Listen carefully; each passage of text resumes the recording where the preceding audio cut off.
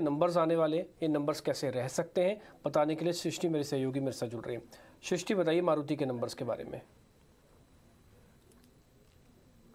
इस बार मारुति सुजुकी की बात करें तो सबसे अहम होगा कंपनी के मार्जिन देखना, क्योंकि पिछले क्वार्टर में 9.8 परसेंट पे कंपनी के मार्जिन दर्ज हुए थे।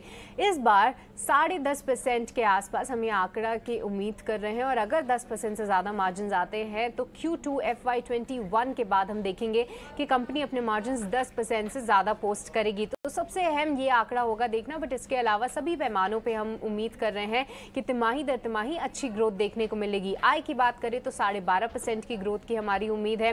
इबिड्डा में साढ़े इक्कीस परसेंट के उछाल की हम उम्मीद कर रहे हैं। Thirty four hundred and forty one crore हमारी उम्मीद है।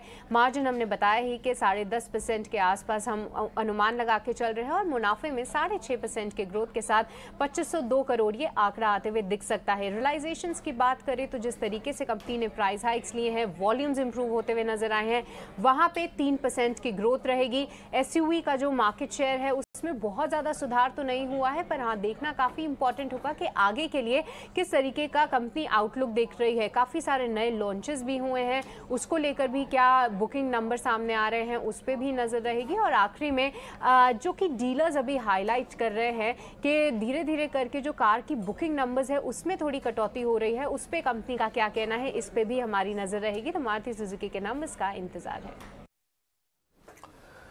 ठीक है नंबर्स नंबर्स के साथ जुड़े हुए क्या क्या इंपॉर्टेंट पॉइंट्स हैं सब कुछ सृष्टि आपको बता रही थी। उम्मीद करते हैं आपने अच्छे से नोट कर लिया होगा। हालाँकि कल भी जब तक नंबर्स नहीं आएँगे हम आपके सामने सारी बातें रखते चलेंगे।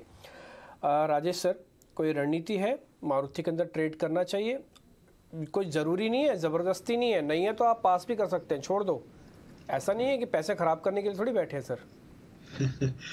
बिल्कुल। तो डिप्पी जी, देखिए, यहाँ पे जिस तरीके का सेटअप बना हुआ है, हमें लगता है थोड़ा वेट करना चाहिए। ट्रेड सेटअप के हिसाब से 8600 का लेवल क्रॉस होना ज़रूरी है, अगर आपको लॉन्ग साइड का ट्रेड यहाँ पे लेना है। स्टॉक में हायर साइड पे थोड़ा दबाव ज़रूर देखने को मिल रहा है। तो 8600 के बाद यहाँ पे एक क्लियर ट्रेंड यहाँ पे बनते हुए दिखेगा। नियर टर्म में फिर 8800 8900 की तरफ़ बढ़ेगा, लेकिन अभी यहाँ पे थोड़ा वेट करेंगे।